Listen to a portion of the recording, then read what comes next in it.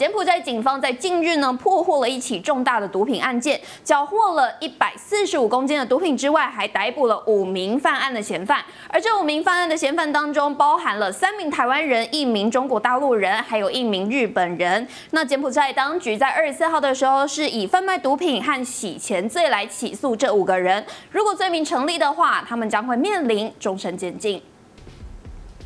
根据《简中时报》报道，柬埔寨警方近日破获一起以台湾人为首的贩毒集团，前后逮捕了一名大陆人、三名台湾人和一名日本人，一共缴获一百四十五公斤毒品，而多数是 K 他命。金边市警察局局长尊纳林上将就表示，警方接获线报之后展开调查，发现这个以台湾人为首的贩毒集团在金边以及多个省份活跃。锁定目标之后，警方在十六号晚间十点半，在金边市水镜华区的一处小区展开抓捕行动。首先逮捕了一名二十六岁的大陆人，并在现场缴获三公斤氯胺酮毒品。而接着，警方又在十七号下午在水镜华区的另一处小区。再次行动，这一次逮捕了另外四名嫌犯，其中包括了三名台湾人和一名日本人。随后，警方在其他三个不同地点搜查，总共再缴获一百四十二公斤的氯胺酮。同样也是发生在柬埔寨，带您看到台湾有一名三十二岁的女子，二十四日在柬埔寨的首都金边呢坠楼身亡。而死者的女友表示，死者生前有和在台湾的哥哥通电话。当地警方就指出，这一名死者他的头部以及身体重伤，是当场身亡。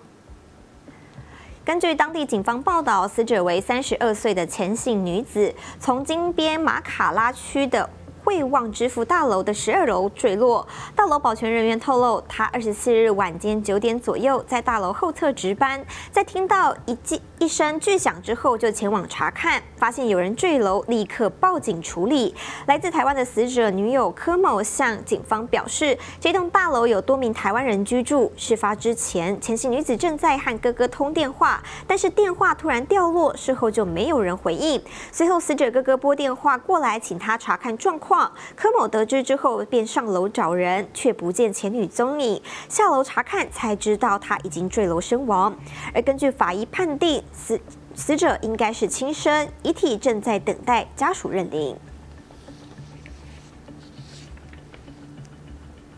接着把焦点转回到国内，孙鹏跟迪英这一对夫妻俩日前为了他们的儿子孙安佐，可以说是生活非常的不平静，甚至啊还一度传出说孙鹏因为是这个儿子而生孙啊孙，我在说什么？迪英呢月初的时候，因为他的儿子孙安佐，所以生了孙鹏的气，然后一度跟孙鹏喊说他想要二度离婚，但是呢最近就被时报周刊 City One 直击说，哎其实夫妻俩很快就和好了啦，他们呢不良习惯也被周刊目睹到了，两个人呢是一。起起开车出门，没有想到出门不久，丁就拿着两包垃圾丢进了旁边的行人专用垃圾桶，看着着实让人觉得好像不太好。耶，爱我爱到好想吐哦！父母帮我收尾，我从来没要求他们做这些事情。新二代孙安佐上个月在泰国西大马闯民宅，近日又携带瓦斯火枪出现在信义区。之前妈妈迪英气到二度提出要离婚，不过孙鹏很快的就挽回了这段濒临破碎的婚姻。根据 CT One 报道，其实早在六月七号上午十一点，他们夫妻俩就一起甜蜜出门采购。孙鹏先是开车载着迪英到住家附近的便利商店采卖，接着又到了牛肉面店买了两袋食物。不过就在采购完后，车子随即在路边临停，迪英下车丢了两袋垃圾到路边的行人专用垃圾桶。接着十二点半，夫妻俩开车回到新北市中和区的巷弄中，一起回到公寓内。但奇怪的是，两人刚从家里出发不久，就冒出两袋垃圾，其中一袋疑似是便当盒。不过两人出去的时间不久，说是刚吃完的，也有点牵强。而相似的情景前一天同样上演，孙鹏驾驶另外一辆灰色轿车回家途中，也停在附近的公车站旁，然后从车上拿了空的饮料瓶下车丢弃。其实法规明文写出，飞行人行走期间饮食或活动产生之废弃物，不得投掷于行人专用清洁箱，违规可。发一千二至六千元的罚款，虽然金额不高，但这的确是不太好的习惯啊。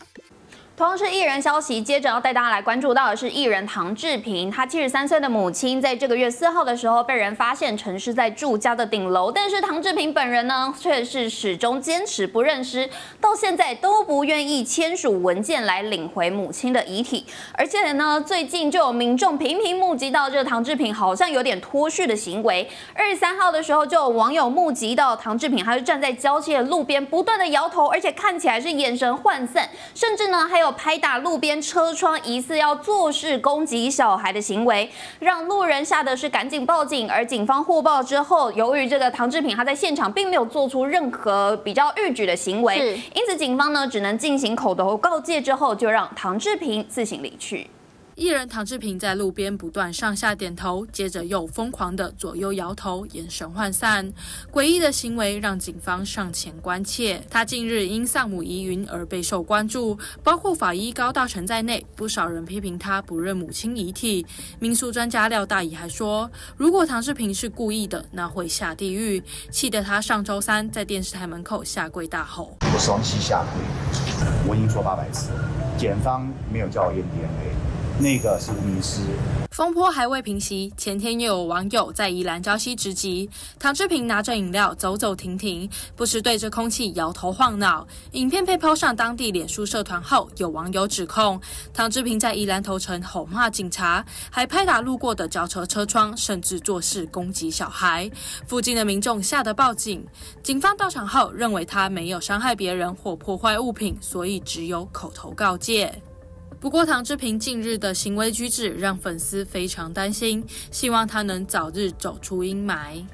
接下来要来问问大家，如果你去吃寿司的话，发现那个酱料碟竟然装过手工，你敢吃吗？哇，真的是有点可怕。那个盘子我应该连碰都不敢碰。没错，这是这是，但这是真实上演的事件哦。这是发生在桃园元智大学，有一名女大生，她日前带着自己的宠物手工呢去吃这个寿司郎来用餐，她就把她的手工放到酱料碟上面，而且还拍照片发 IG，甚至在旁边写下了寿司胖胖包。而这个照片呢，就被网友转。发到 D 卡上面，引起了网友们的群起炮轰。而寿司郎呢，对此也发出声明，表示不排除会采取法律途径来就责。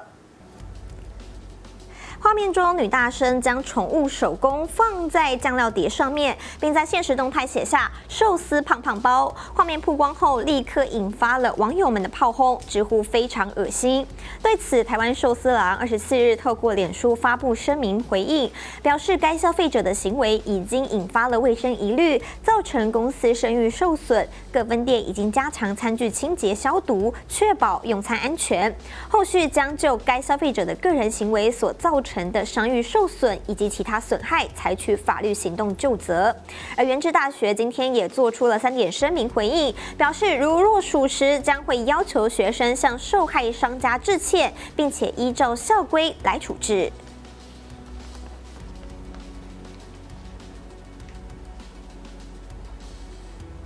接下来，同样来关心跟我们生活息息相关的话题，那就是最近的博爱座的议题。是对，因为其实最近真的发生很多，就是可能为了争博爱座让位啊，然后呢，导致大家可能大打出手的一些事件，那让大家就在讨论说，这个博爱做它到底该不该继续存在呢？对，尤其台北捷运一个礼拜内就发生了两起博爱做的争议，真的是会让大家觉得我现在。搭捷运，然后看到博爱座会有点不敢去做，哎，没错，那就有一个网友啊，他之前就在社群平台上面分享，哦他说他在二十四日的时候搭乘文湖线，他就在文湖线上面听到了一个广播，那广播的内容就是讲说，您好，博爱座的年龄不是唯一的标准，请发挥同理心、爱与关怀。哇，他说他听到这一个当下，哇，好像心中就觉得啊暖暖的感觉，这个还蛮不错，因为他有直接告诉大家说，哎，博爱座不是只有老人家才可以坐，年龄不是唯一。的这个选择嘛，对，也是也不是那个评判的标准呢。那就有网友看到就说，哇，这个广广播真的是非常的赞。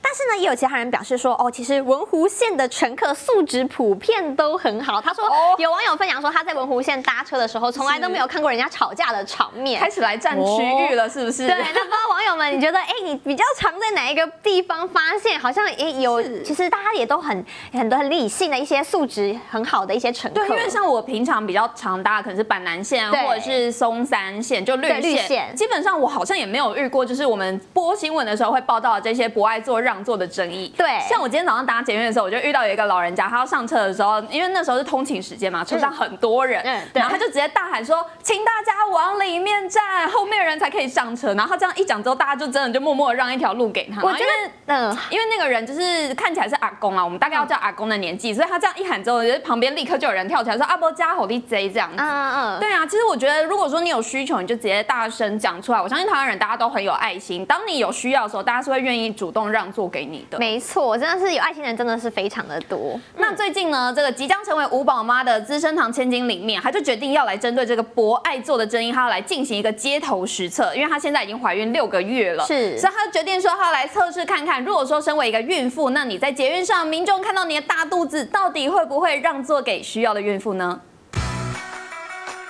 那一次的挑战还是失败，大家还是觉得我们这样很辛苦。